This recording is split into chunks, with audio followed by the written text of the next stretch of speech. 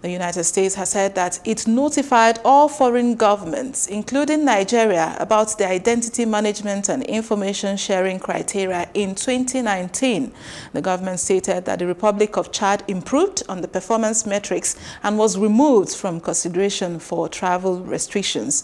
The U.S. describes Nigeria as one of the worst performing countries of the performance metrics, which is said led to the imposition of migrant visa restriction on the country.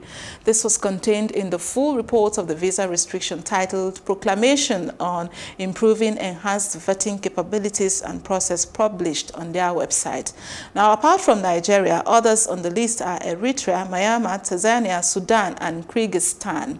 The new visa regime announced by the U.S. government on January the 31st involves the suspension of the issuance of immigrant visas to Nigerian passport holders, and it comes into effect on February the 24th. 21st rather.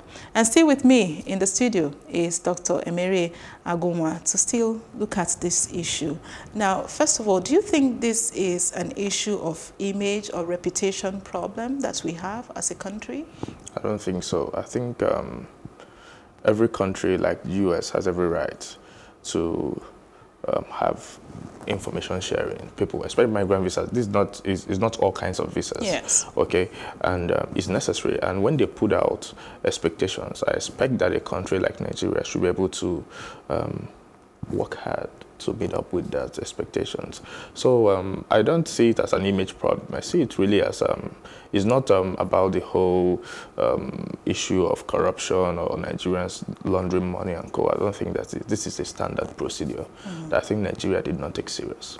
On, before we came on, uh, you were talking about the real issues, uh, so which is security and all of that. So let's talk about that.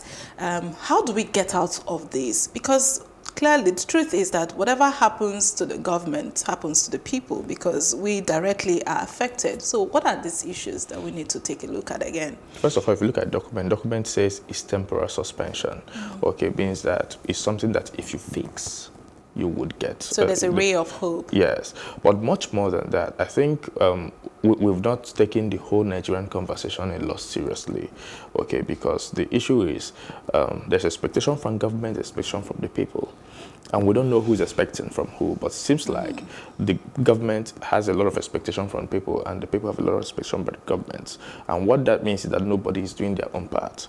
Okay, so what it means is that um, well-meaning Nigerians can offer up if the government can open up about these issues at hand and private sector can wait can come in and help government solve their problems and solve their and solve their image problem. We have security issues, and these security issues are not are not about life and death alone. They are financial security issues. A lot of security issues. there's trust issues in this country. You seem you cannot trust a Nigerian, and this is something that the government can fix um, policy-wise and the people can fix performance-wise. Mm -hmm. And if two of them, if two of us can marry somewhere, maybe this this whole restriction thing that I tell you there are a lot of countries that were not considered at all for restrictions. But why are we part of the ones considered at all? Mm -hmm. Let's even forget whether we made it, we scaled out. Why are they considering us? Because we failed. And we must admit that we failed and we start fixing these issues. The issues are lot sensitive, okay, and they are, they are uh, very sensitive issues and not things you can just wake up and um, put um, really line on it and everybody gets online, on board on it. But it's something that we need to start fixing. Um, um ideology what makes us Nigerians? What do we hold? What is it that holds us together? What is it that we value much more than um, ethnic divide and religious divide and um, personal gains. I think that's about that. All right, thank you so very much uh, for all your thoughts this morning, uh, being with us from the morning hours.